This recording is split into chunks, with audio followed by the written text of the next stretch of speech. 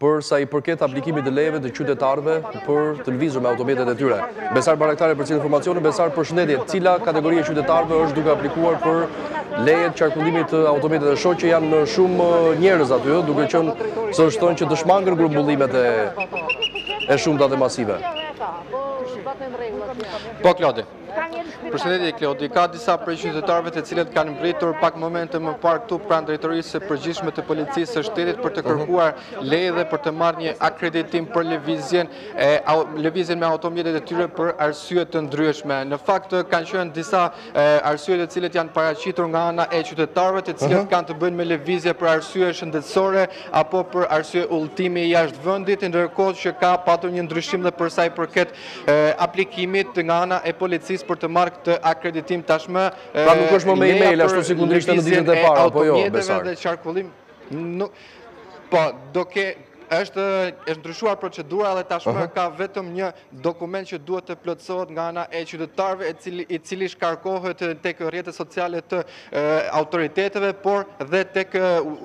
dhe tek portali i oranews.tv ku qytetarët mund të kenë mundësi dhe ta shkarkojnë dhe më pas ta plotësojnë.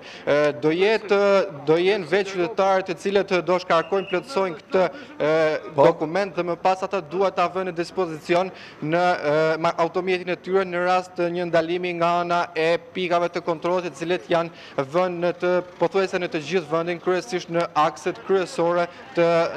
të rrugëve të vendit. Në fakt pak momente më parë pati dhe një sqarim nga ana e drejtorit të përgjithshëm të policisë rrugore, i cili shpjegoi procedurën e qytetarëve të cilët duhet të lëvizin dhe duhet të marrin këtë akreditim, pasi në të kundërt ata do të ndëshkohen sipas masave të parashikuara nga ana e autoriteteve. Sipas drejtuesve pra duhet të plotësohet itinerari,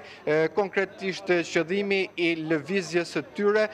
duhet të përcaktohet me saktësi orari nga njëri destinacion në një destinacion tjetër, në rast se do jetë dhjetë, njëzet apo tridhjetë minuta duhet të përcaktohet se sa u nevojitet qytetarëve dhe ata duhet të deklarojnë. Në rast se autoritetet deklarojnë që në rast se ky rregull shkelet, pra do të ketë më pas sanksionet e sipas edhe... Ka një mekanizm monitorues se si mund të kontrollohet i gjithë qarkullimi i atyre që marrin autorizim Besar, apo do të lihet në dorë të ndërgjegjes së vetë qytetarëve? Mekanizmi për kontrollin e këtyre e lëvizjes pra të personave që akreditohen dhe marrin një autorizim është nëpërmjet patrullave të Policisë së Shtetit dhe Policisë Ushtarake të cilët janë vënë në dispozicion dhe janë ngritur kanë ngritur pika kontrolli në të gjithë rrugët të vendit për të evidentuar të gjithë këta persona ndërkohë dhe gjatë ditës së sotme por ka vijuar ndëshkimi i personave të cilët e thyejnë këtë rregull dhe qarkullojnë pa të drejtë Dhe pa një lloj autorizimi të marrë nga autoritetet, ndonëse fluksi i këtyre qytetarëve dhe drejtuesve të mjeteve ka patur një rënie të konsiderueshme, ende ka qytetarë të cilët nuk janë të ndërgjegjshëm dhe lëvizin pa të drejtë autorizimi. Ndërkohë, përpara se ta mbyllim dhe një detaj të fundit, Besart, cila është ose cilat janë nevojat e qytetarëve për të marrë autorizim? Pra janë përfaqësues të bizneseve të vogla, të kompanive furnizuese të ushqimeve, kanë probleme shëndetësore? Po, Klodi, në fakt janë arsye nga më të ndryshmet mhm. që nga problemet shëndetësore që ata duhet të paraqiten pranë spitaleve apo të qendrave shëndetësore që për këtë arsye autoritetet kanë deklaruar që nuk ka nevojë për një autorizim mjafton që të jetë një rekomandim nga ana e mjekut apo ku ata duhet të kryejnë vizitën për më për të lejuar të qarkullojnë lehtësisht. Arsyet e tjera të cilat ata kërkonin të paktën kanë të bëjnë me furnizimin, me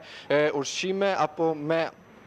produkte të tjera dhe janë kryesisht biznese dhe kompani të cilat duhet të marrin një autorizim, por kërkesat e tjera dhe janë dhe për persona të cilët kanë më herët para shtetrrethimit, pra pesë ditë më parë kanë qenë në Shqipëri, të cilët kishin mbërritur nga jashtë vendit apo ka patur një periudhë tjetër më të gjatë kohore të cilët ata kanë qenë në Shqipëri dhe duan të largohen nga Shqipëria pasi jetojnë dhe punojnë në vendet e tjera kryesisht dhe ata du kërkojnë që të marrin një vërtetim dhe për këtë arsye nga ana e autoriteteve është orientuar që të përdorin këtë formular vetëdeklarimi dhe ashtu siç e quajnë ata dhe më pas të lëvizin, por do jenë gjithmonë nën monitorimin e policisë rrugore dhe policisë kufitare nëse ata e respektojnë apo jo këtë autorizim që ata e kanë marrë paraprakisht nga ana e autoriteteve nëpërmjet rrugëve online. E qartë. Mirë Besart, faleminderit për detajet që përcolle, punë të mbarë në vijim.